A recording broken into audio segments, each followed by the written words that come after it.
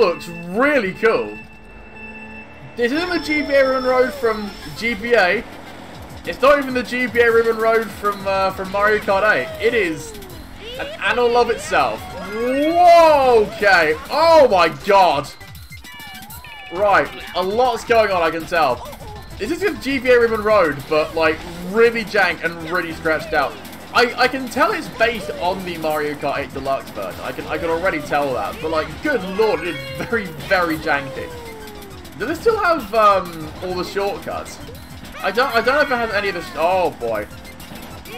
I don't yeah, I don't know I can't tell any of the shortcuts like here. I really can't tell. Oh there's a ramp there. Is that a cannon? No it's not. Whoa my god! Hold on, please tell me that counts the lap. Yes! Unintentional cheating. I love it. Oh, you've got to love jank cover tracks sometimes. It allows you to do stupid stuff like that. Alright, let's see if I can not... Okay, there you go. I managed to survive that first bit. Again. Good. This is so... I love the um, effects on this map. It looks really nice. I, I, I wasn't quite expecting this when uh, when this track came up. This is... It's so baffling. I, I, I love it uh, because it looks it looks really pretty, but God, it drives so awkwardly. Uh, let's just let's just keep going and uh, and finish this one off. I want to see if I can actually land on the the little target ramp thing instead of like cheating. Even though the cheating bit was kind of funny. Oh yeah, it kind of sends you a little bit higher up than usual, and then yeah, you're just kind of go on your way. I'm surprised that's not out of bounds. Like that's, I guess that just acts as the off-road from uh, from 8 Deluxe. I imagine. Um, but yeah, this is a very, very cool... It, it's a it's a cool... Uh, well, visually it's very cool.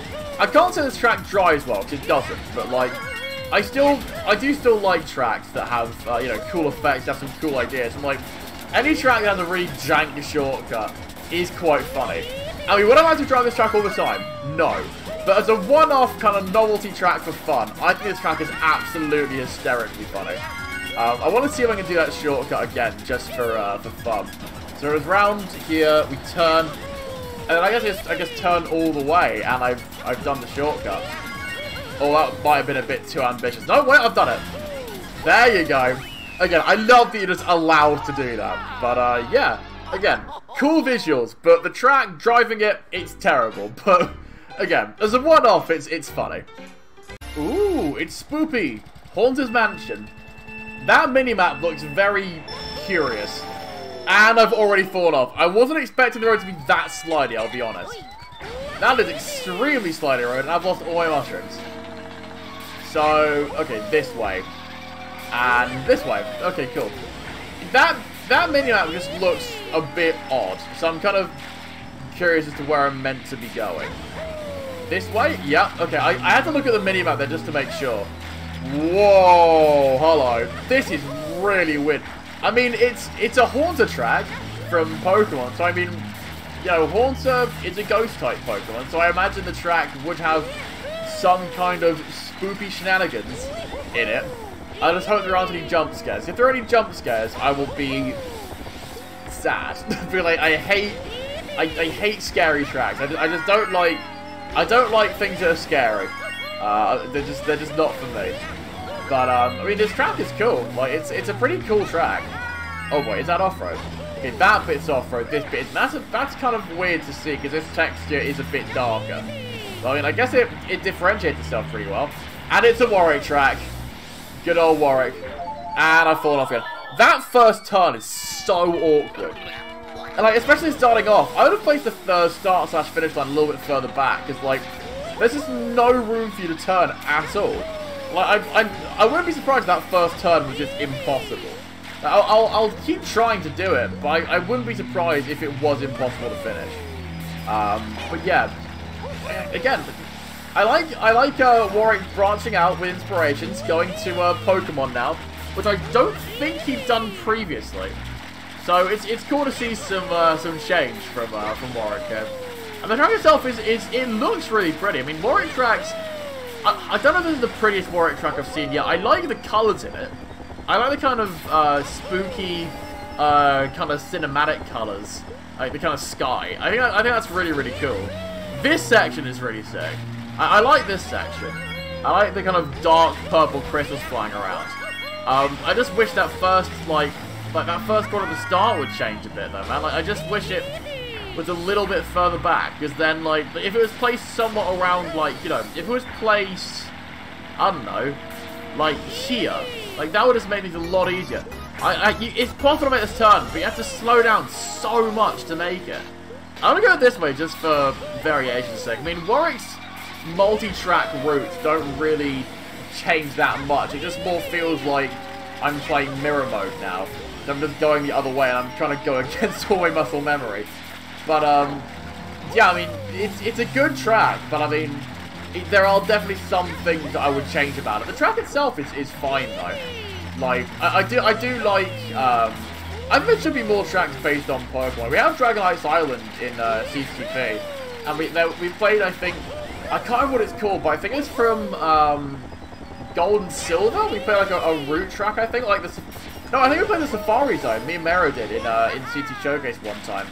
Well, that might have been the uh, that might have been that we did record for.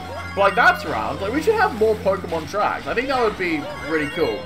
Oh no, we did play like Umbreon's Pizzeria, uh, Rick and Morty, whatever it was. We played that track, which I'm not counting. But like, yeah, overall, again, a good track. But I just wish that um, oh, I didn't first go through that wall. Um, but yeah, I, I just wish that um, the business track would change a little bit. Other than that, this track's fun. Ooh, okay. So, this is a track based on, if you couldn't tell the title, based on Conker's Bad Fur Day, made by Rare, released I think, either 99 or 2000. And, um, I'll be honest, I know next to nothing about Conker's Bad Fur Day. I've never played it. I've seen quite a bit of footage. I know what the game's about. It is very silly, and it, it, it is it is actually quite funny. Whoa! Hello. Um, but yeah, since this is made by Rare, I, I do get the sense, I, I do get the kind of Banjo-Kazooie vibe. And I feel like Conker, oh my god, the giant crab. I feel like Conker gets a lot. Like, it reminds people a lot of, um, of Banjo. And I think, um, what... I don't know much about Conker and the actual game itself. I'll just talk a little bit about Conker the various like history behind it. So I kind of know bits and pieces about that. Um, because obviously um, Conker um, was originally in Diddy Kong Racing. That was where Conker made his first appearance. And um, I think originally uh, Rare wanted to make a kind of new kind of kid-friendly mascot. And like, obviously, correct me if I'm wrong, uh, comment section, if I have got this wrong. But I think originally Rare wanted to create a kind of uh, another mascot character kind of similar to, to Mario or Sonic or like kind of other mascots at the time. Um, but the problem is, um, I think they already had Banjo for that. that. That's what I think. I recognize these enemies with the kind of swamp looking things. Um, I think they, I don't know what happened, but I think Rare decided to go in a completely different direction. And instead of going the route they went with Banjo-Kazooie, they just decided to make um, Conker this really foul-mouthed, sweary, you know, alcohol drinking, you know, squirrel. And, uh, you know, I want to go up here, actually. I think this is, like, yeah, this is very similar to, um, uh, to Conker. Or to, uh, Banjo, rather. I don't know if this will lead me anywhere, but I just want to see if this does go anywhere. Okay. That wasn't what I wanted to do. Alright, hold on. I'll just, I'll, I'll try and get up there, I'll let you know if anything's up there.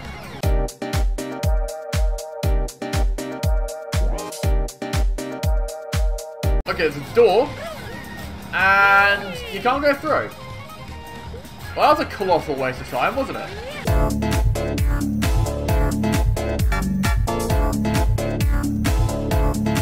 Right, so back to the track itself and uh, an extension, Conker.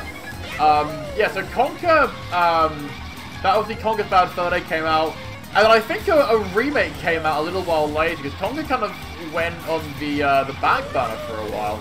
Like, as did a lot of Rare games that were bought out by Microsoft.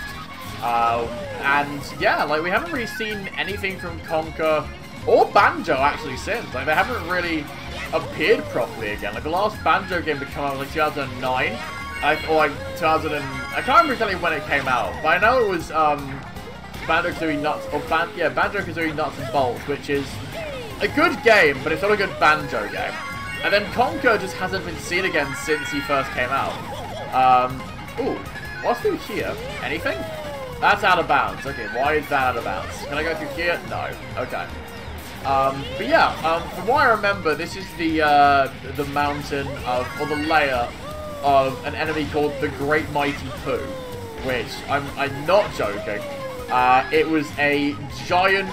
Uh, there's no, there's no polite way of saying this. It was a giant turd um, that sang opera at you, and he had his own theme that he sung at the beginning of his boss fight, and that was Conker's Bad Fur Day. It was very much of the time, I suppose. It was very...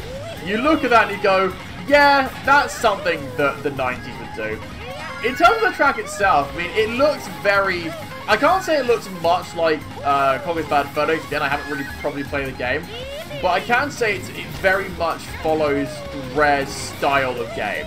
And like Rare's style of art, which is, it's, it's very cool. Rare games are very, very pretty. Um, and yeah, um, I don't think Conker's Bad Fur Day will be brought back to Nintendo Switch Online. But I mean, we can all live at home, right? I mean, we, I think a lot of people need, a lot more people need to see the Great Mighty Poo singing opera songs to Conker. And just people need to play this game in general, because it, it does look very good. What in the world is this? Yeah. It's Luigi's Mansion, but changed slightly. What's through here? Nothing, it's more path. This feels way more slidey than usual. Is that just me? Oh, wow, okay. Now as your suddenly turns to Luigi's Mansion got shrunk in the wash. What is this? Okay, so why are the route up these stairs so small? Okay. I think it's just, I think it's literally just the, um, it's just the, uh, the stairs that got shrunk in the wash. That's so weird. Okay, let's just keep, oh no. This spiral, this spiral is so awkward. Whoa, okay. So it's like, okay, so this is more, I get it. So this is, do I, where do I go? Do I go through here? No. Do I go, wait, what? Oh, I'm a, uh, I'm a bit confused. Where am I actually going? I think I'm going down here. Okay, I am going down here. Good, good, good. Okay, I was I was really confused for a second. I just had no idea where I was meant to go. Um, oh, this path is quite narrow as well. So yeah, this, at least the mansion section, I guess, is like way more faithful to uh, original Luigi's Mansion. I don't know if Luigi's Mansion had lava in the middle of it, though. Although maybe this was a track Luigi had to go through to get here in the first place. I mean, we don't know what uh, lays, you know, we don't know what, what was before, um, uh, like, the forest that Luigi walked through to get here in the first place in the original game. We don't know that. Um, but yeah, this is so weird. Yeah, it's more faithful to the original in terms of, like, you know, going through all the different, like, routes of the mansion. Like, you go on the roof, there's the hallway, um, you know, obviously there's, oh my god, there's more of the forest. Whoa, okay. I'm surprised that's not out of bounds to be perfectly honest. Actually, no, never mind. There's um, there's still floor here. But yeah, oh, this this is so tricky. I imagine on 200cc, uh, you could do a lot of really awkward stuff with this track. I, I imagine you could. Uh, I'm gonna go on over here. Yep. And okay, this is where I'm meant to go. All the boos. Hello, boo. And that's nothing. Yeah, this is very weird. It feels like this part feels like it feels really kind of like wide and like explorable. But at the same time, it's really restricted because you're only allowed to go down like one road, and it's really thin. And like, God knows how this would work on versus races. Because I imagine, like, it's, it's so thin that, like, lightweight vehicles have a really rough time of actually, you know, trying to traverse and drive this stage. But I mean, especially going up here. Can I drive up the walls? No, I can't. Can I drive up the stairs here? Yes, I can. Okay. So, if I just, like, do this, you can somewhat cheat your way up the stairs. Let me try that again. I want to see if I can turn up the stairs and make a, a, good kind of cut out of this. Okay, maybe not quite. But it's good that you can, it's good to know you can drive up the, whoa. Oh, go on. Oh, I thought I was going to make up the stairs. Again, if you're on Twitter at CC, or if you're just better at this track than I am, um, you can definitely do some really wacky shortcuts with this. Oh my god. Okay, all of that bit's trickable. Noted. Okay, this is so weird. This bit, again, feels reopened, but at the same time, like, this is, like, the road it leads to. And, like, the rest of this is just really wet, murky off-road. I'm not entirely sure why. There's all this forest to explore. Why am I not allowed to kind of, like, drive on it slash explore it? And why is this all, like, you know, non, like... Why is that all drivable as well? Again, there are bits... This track just feels really open now. And it feels really empty. Which I guess fits Luigi's Mansion. But at the same time, I do wish there's a little bit more. The track to Mansion bit is really cool. I just wish the outside forest section had a little bit more to it. But other than that, this is it's very wacky and it's quite funny. I do enjoy it.